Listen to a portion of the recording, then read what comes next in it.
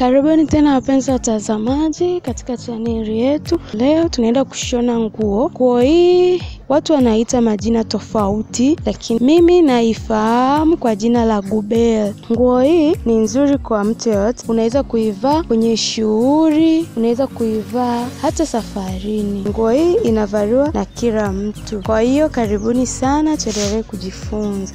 Kama ni mara yako ya kwanza unajiunga nasi, usisahau kusubscribe chaneli yetu. Kitambaa chako nakikunja mara nne kama hivi, nimekikunja mara nne kama unavyoona hapa. Baada ya hapo, tunapima bega. Bega ya mteja ni kumi na nne, ukigawa mara mbili unapata ni saba. Tunaweka alama, tunaenda kwenye shingo. Shingo unapima, nimepima tatu kwa sababu sio mnene sana, napima tatu na chini nimeshusha tatu. Urefu wa shingo ni tatu na upana ni tatu. Akiwa mnene una, unaweza ukaongeza tatu na nusu. Tunashuka chini ya manyonyo, chini ya manyonyo ni kumi na tano. Tunaweka alama yetu kwenye kumi na tano hapo, tunapima kutoka begani mpaka kwenye afu yake. Afu yake ni kumi na saba. Kisha tunapima kutoka kwenye hafu mpaka kwenye hips, ndo hapo tumepata alama yetu hapo. Baada ya kupima hapo, tunanyosha mstari mstari kwenye chini ya manyonyo tunanyosha mstari.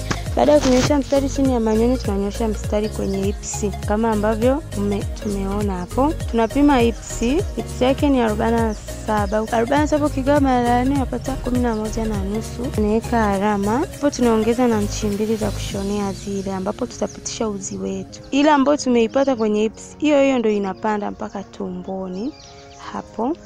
Hapa ndipo tutakapowekea tundu letu kwa sababu nguo hii ina tundu. Tunapima nchi moja kutoka pale kwenye senta ambapo tumeweka alama yetu ambayo tuli, ni ipsi ambayo tuliipata huku. Tunaweka alama yetu, unazungusha futi yako huku umeiweka sentani pale, tunatoa nchi mbili nchi mbili nchi mbili kwa kuzungusha ili tupate ile duara vizuri kama hivi ambavyo unaona tumezungusha duara letu, ndio hili hapo. Baada ya hapo, tunapima bega, kwa sababu nguo yetu haitanyooka moja kwa moja, itakuwa kama imeshuka hivi. Sasa tunashusha nchi moja. Baada ya kushusha nchi moja, tunanyosha mstari wetu mpaka sehemu ya mwisho ya upana wa nguo yetu, kama hivi ambavyo unaona ninafanya hapa. Tunachora shingo yetu ni ya raundi na nguo hizi mara nyingi shingo la raundi ndio linalopendeza.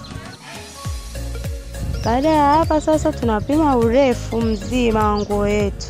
Urefu wa nguo yetu ni hamsini na sita kwa sababu tutai tunaongeza na nchi moja hapo kwa ajili ya kuipinda huku chini.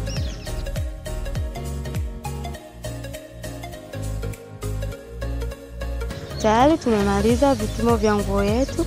Ndio kama hivi unavyoona, huu upana wote tunauacha. Tutakapopitisha uzi, huu upana wote unabaki. Uzi utakapopita hapa, huu upana mwingine wote unabaki. Sasa tunaenda kuikata nguo yetu. Huku pembeni kidogo tunapitisha, tunapunguza kwa sababu haikulingana vizuri, tunaitoa hapa hatutapitisha uzi kwenye chaki, tutarudi juu kidogo, kwa sababu hapa hiyo nchi tutaiacha kwa sababu ya kupitisha uzi. Tutapitisha hapa uzi, tunakata shingo. Baada ya kukata shingo, sasa tunatoboa tundu lile lile tundu letu ambalo tulikuwa tumeliweka, ili ukate vizuri kwa kutokosea. Unashika hapa katikati, unaweka alama kama hivi Alafu unarudisha kitambaa chako vizuri, maana kitambaa hiki kinateleza sana, unaweza ukakosea.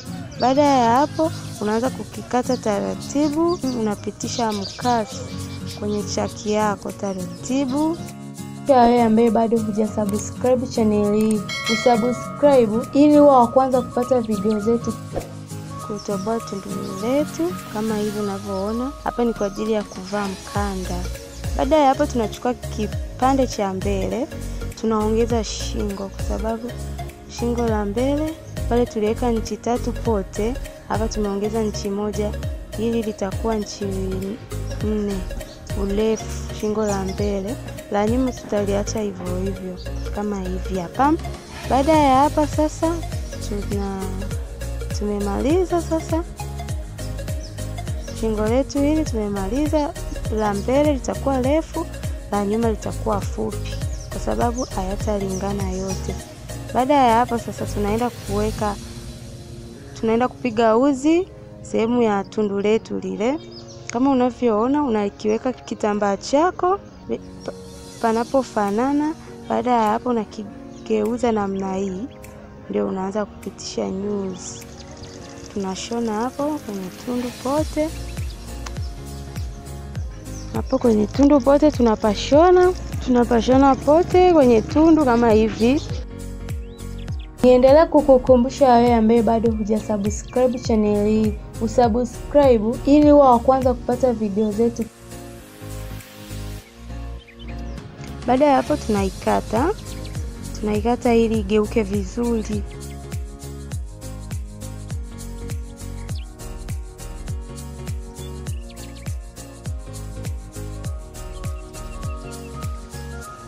Kama unavyoona tayari ndo hivi tundu letu ambavyo tumelishona ndivyo hivi muonekano wake. Sasa tunapima urefu kutoka pale juu mpaka hapa kwenye tundu, kwa sababu ya kwapa, kwapa lake tunaweka nchi tisa hapo. Baada ya hapo, tunaweka alama yetu hapa, tutapiga uzi ambao utaenda mpaka hapo hapo kwenye tundu, katikati tutaparuka, tunapiga hapo na kisha tunashusha uzi mpaka chini. Tunapiga uzi kwenye bega,